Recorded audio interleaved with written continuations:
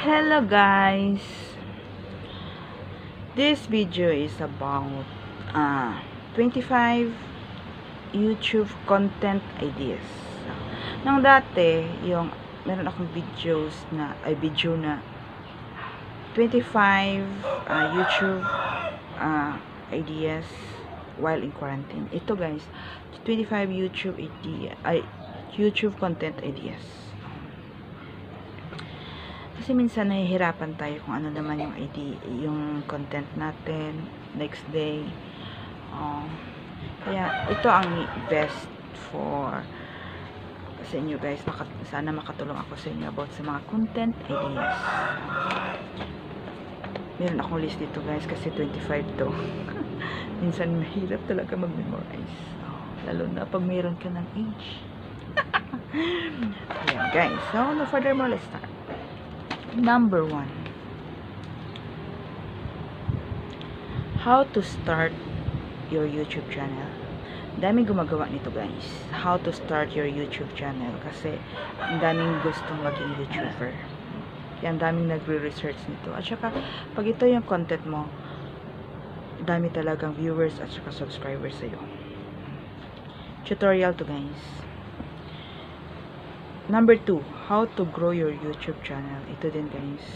Tutorial din to. Ah, dami din nag-research gan- ganito. Kasi ako din, research ako nito eh. How to grow your YouTube channel. Kasi, ang daming gustong mm, ma na mga subscribers and viewers. Number 3, how to edit your how to edit my video. Yes, guys. Dami nagre-research din sa dito. Yung, especially yung sa app gamitin. Number 4 is how to edit my thumbnail. Yes, ito din. How to edit my thumbnail. Ang daming nagre-research nito. Kung paano siya gawin. mm, Anong gamitin na app. Mm, Ito yun, guys. Number 5 is how edit my YouTube intro. Mm. Ito din yun guys. Kasi ako din, nagre-research ako na ganito. How to edit my YouTube intro. Ano gamitin na app. Number 6 is filming and vlogging setup. Yes, ito din guys. Pa, i-show mo yung paano yung mag-film ka at saka yung vlogging setup mo.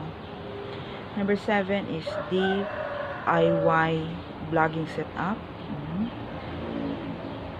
Ito yun guys, yung sa mag-setup ko sa kung paano ko mag-vlog. Number 8 is makeup tutorial or milk or makeup collection, yung makeup at saka yung makeup tutorial mo. Pwede din yun yung mga evening, morning routine nyo. Yun guys.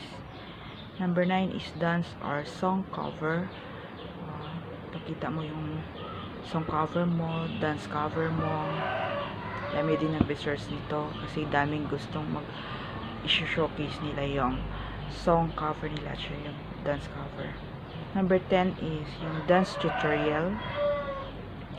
Yung dance tutorial nila.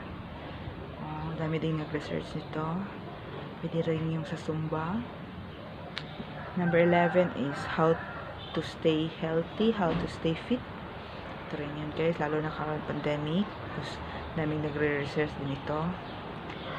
Number 12 is try on haul. Mm, ito din guys. Number 13 is step in how to cook. Oh, lalo na sa mga mag ah, gumawa ng cooking channel. Ito, yung, yung first na anong gagawin. Steps on how to cook. Number 14 is editing app for Android or iOS. Mga editing gap- app na gamitin. Number pair for 15 is product review. O, sa mga meron mga business guys, ito din yung guys, ni-research nila kung paano mag-product review. Ah, dami din gumagawa nito. Number 16 is expectation versus reality. Mm, dami din to guys, 16. Expectation versus reality. Number 17 is reacting to my old videos. Pwede din reacting to my old picture, ay picture or videos. Number 18 is collab videos. Yon. Number 19 is travel essentials. Pwede din yung ah, everyday essentials. Number 19 is prank video. Dami gumagawa nito guys. Yung mga prank videos. Pero sana yung mga prank videos ha, hindi yung na ano na kayo ng pulis. Ingat-ingat lang. Number 21 is DIY clothes. Mm. Mga DIY clothes nyo at pakita nyo. Number 22 is truth or dare. Truth or dare kayo kasama yung mga kaibigan mo, friends mo, family mo. Number 23 is how to earn money. Oh, gusto ko din gumagawa nito ng mga videos, how to earn money. Number 24 is how to save money. Oh, gusto ko rin dito. how to to to save money pala. Number 25 is birthday, Christmas, or New Year's vlog. Lalo na pag malapit na tayo. Ngayon is malapit na tayo mag-Christmas, mag-New Year. Oh, gawa nyo yung vlog. Ano yung mga ginagawa nyo pag celebrate sa mga Christmas nyo, New Year's nyo, kasama yung family nyo. Number 26 is must home apps. Uh, must have apps. Number 26 yan guys. Mm, Parang iba rin counting ko. Pero i-adjust mamaya.